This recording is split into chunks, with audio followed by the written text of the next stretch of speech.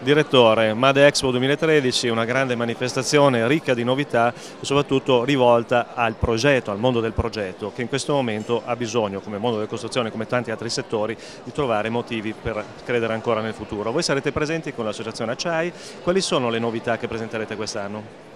Beh, la nostra fondazione opera come sempre nel cercare di comunicare quelli che sono i vantaggi che le soluzioni in acciaio portano oggi al mondo del progetto e della professione. Il nostro lavoro è quello di far sì che comunque gli architetti e gli ingegneri poi in una fase poi di progetto esecutivo abbiano a disposizione nuove tecnologie, nuovi materiali per seguire quelle che sono poi le idee progettuali e renderle alla fine dei prodotti realizzati in base a tutti ai nuovi criteri della sostenibilità, della sicurezza, le soluzioni in zona sismica, procedendo anche verso soluzioni industrializzate e anche in accordo con altri materiali da costruzione, quindi per noi il MADE è un momento importante di confronto, di lavoro,